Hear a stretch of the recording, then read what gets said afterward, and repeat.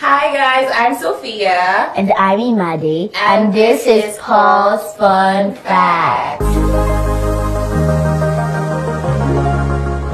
What do you love most about being my mother? That's what I love most about being your mother. Everything, every single aspect, even the annoying parts. Oh my god. so the, the first question from my end is, what is your favorite part about being my daughter? Everything, even though when you yell. Even when I yell? Yeah. I don't yell. Yes. I just, I, I'm very firm with my words. I don't think I yell. okay, I think you're next. Okay. What was your first reaction when the doctor gave me as your baby? Hmm. I, I feel like I can't put my reaction into words. I can only show you.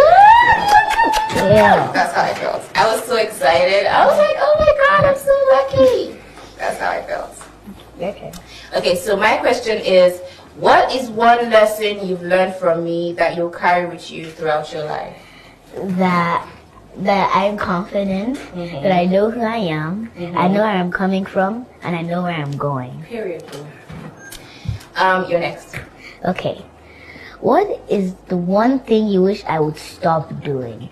Like, What is the one thing I wish you would stop doing?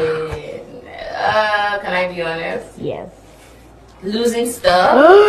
you lose stuff. You are always losing I'm getting stuff. better. Even diamond Okay, earrings. next question. uh, my question. If you could change one rule at home, hmm, what would it be? TV time, snack time, and bedtime. I said it says one rule. Uh, okay, bedtime. Why bedtime? Mom, cause come on, mom, you have superpowers. I could, I could stay up late and still wake up in the early and still be sharp.